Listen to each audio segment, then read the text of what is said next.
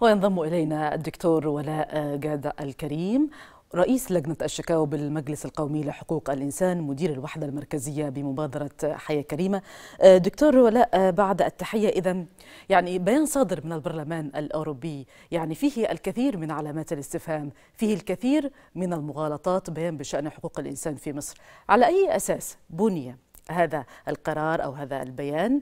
وعلى أي أساس ينصب البرلمان الأوروبي نفسه وصيا في على الشأن المصري؟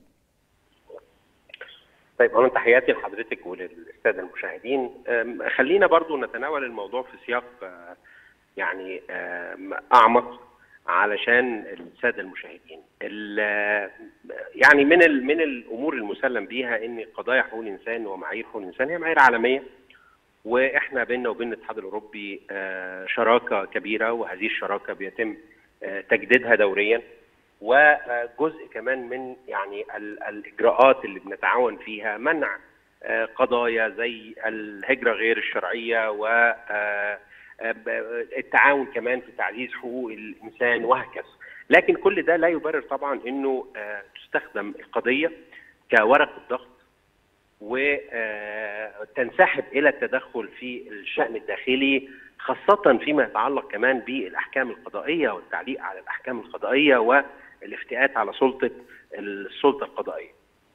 ده شيء مرفوض يعني شكلا وموضوعا وأعتقد إن البرلمان المصري باعتباره يعني إن هو المؤسسة النظيرة كان رد على ده بشكل قاطع لكن إحنا يعني بيننا وبين أوروبا زي ما قلت لحضرتك شراكة تعاون بيستفيد منه الطرفين بيستفيد منه أوروبا وبتستفيد منه مصر ودول جنوب صحيح. المتوسط نقبل الحوار ونقبل التعليق ونقبل التعاون لكن بدون أن يتحول ذلك إلى يعني تدخل في الشأن الداخلي وتغول على السلطة القضائية واختصاصاتها واستقلاليتها وصلاحياتها لدى اي من الطرفين.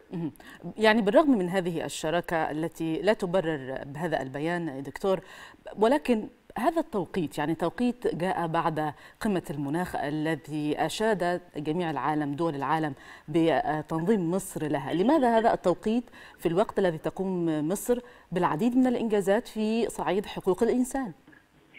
صحيح يعني وده الحقيقة اللي هو محتاج كمان إحنا نتكلم عنه كدولة وكمؤسسات. بما فيها على فكرة القضايا اللي أثرها البيان يعني قضية السجناء والمحتجزين السيد الرئيس بادر من أبريل 2022 بإطلاق وإحياء مبادرة العفو الراسي والحقيقة إن يعني دعوة السيد الرئيس كانت منفتحة للغاية على كافة الأطراف وعلى كافة القضايا. المجلس القومي لحقوق الانسان واحد من المؤسسات اللي تقدمت ب يعني العديد من قوائم العفو.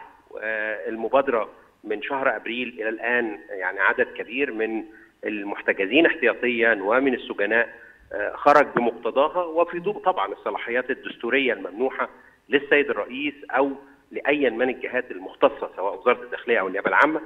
فيعني هناك مبادرة مصرية بالفعل بالتعامل مع التحديات الأساسية في مجال حقوق الانسان بما فيها قضايا السجناء والمحتجزين وكان مهم جدا إن البرلمان الأوروبي أو أي شريك يرغب في مساعدة مصر آه إنه كمان ياخد ده في اعتباره. الموضوع ليس إن أنت تستمع من طرف واحد ليس إن أنت يبقى عندك آه رواية وحيدة تستند إليها في آه إخراج بيان أو قرار أو تبني قرار بهذا الشكل. لكن إنه قواعد الشراكة وقواعد الصداقة والتعاون تقتضي إن أنت ترى الصورة بشكل أشمل وبشكل أعم. الدكتور ولاء جاد الكريم رئيس لجنة الشكاوى بالمجلس القومي لحقوق الإنسان مدير الوحدة المركزية بمبادرة حياة كريمة شكرا جزيلا على كل هذه الإيضاحات.